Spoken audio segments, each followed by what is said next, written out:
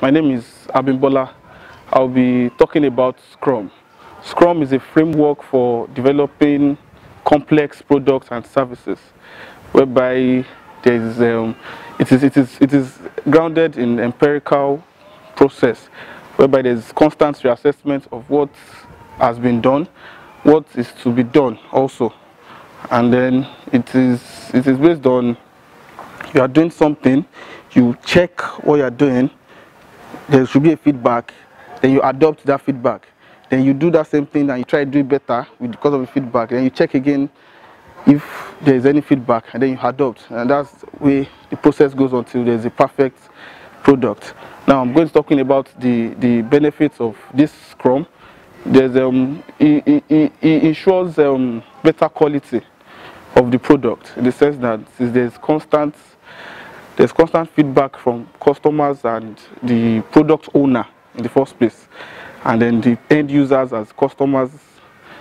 There's going to be a better quality there's going to be quality assurance for the product.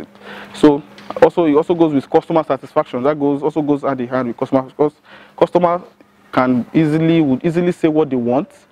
And there is always a, a, a way to get that back into the system to make the product better.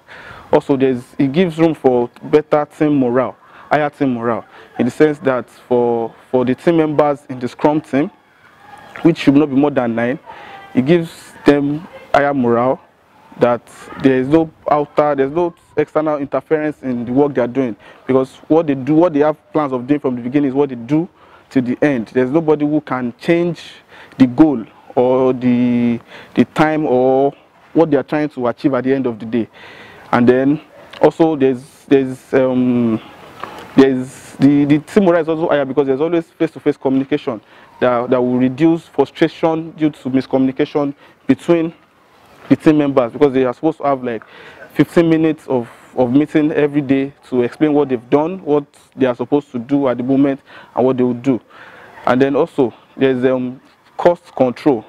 There's also risk control cost and risk control because you, you, there's there's a time frame and the cost budgeting might not change in that period of time.